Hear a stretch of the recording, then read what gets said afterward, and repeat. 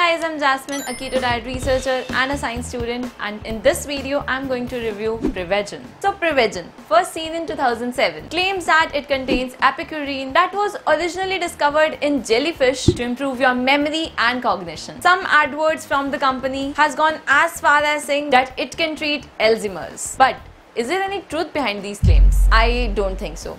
Here are some reasons. Number one, these are big claims have not been reviewed by FDA. Moreover, Prevagen is a dietary supplement. However, government think that its claim in advertising is of a drug that needs to go through a special procedure to be sold in the market. Two, there has been no scientific evidence provided by Prevagen about how their product works. The only study that they have provided is in the group of 40 people, one was given placebo and others were given Prevagen. And the group who had Prevagen saw some increase in mental performance. However, one study is not enough to justify their big claims. 3. When Prevagen originally came out in 2007, it claimed that their main ingredient was coming from jellyfish. However, over the years, as mentioned in their website, they have now started to produce that ingredient in their laboratory. Further questions the safety of the product. 4. There have been countless lawsuits against family members of those who have experienced severe side effects on Prevagen like stroke, heart diseases and further memory loss, making their condition worse than before. All in all,